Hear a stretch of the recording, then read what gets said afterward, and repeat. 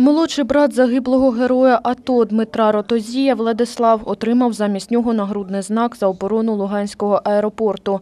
Прямо у класі нагороду хлопчику вручили батьки загиблих воїнів АТО. Хлопчик каже, він пишається братом, проте сподівається, що він ще повернеться. Мені сумно, е, що Діма загинув.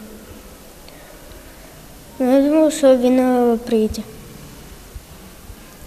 І що він всім розкаже, що всім хорошо все.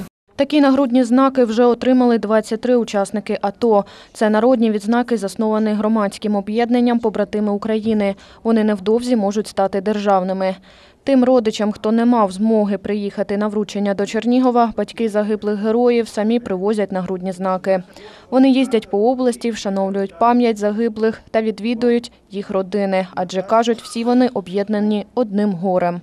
Ще однією причиною візиту до Городні стало обговорення результатів співпраці між Чернігівським та нещодавно створеним Городнянським осередком громадської організації Єдина родина Чернігівщини. Городнянський район на сьогоднішній день один із кращих районів, які є спільна мова от, з громадськістю, райдержадміністрацією, з мером міста. Тобто і всі родини працюють і приймають активну участь всіх всіх.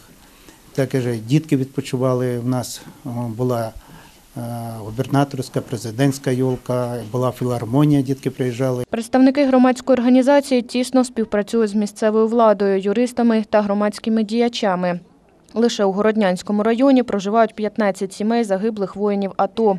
Подібні місцеві осередки громадської організації планують створити по всій області, аби об'єднати всіх, а в подальшому співпрацювати із представниками інших областей. Співпраця, звичайно, ця м, е, плод- плодюча, будемо так сказати, дає свої плоди.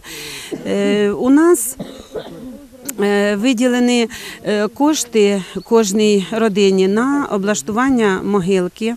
Е, Майже всім, е, у кого є е, на це право і є всі відповідні документи, е, у нас отримали посвідчення членів сімей загиблих. Представники громадської організації вшанували пам'ять загиблих та поклали до стели пам'яті героїв АТО квіти.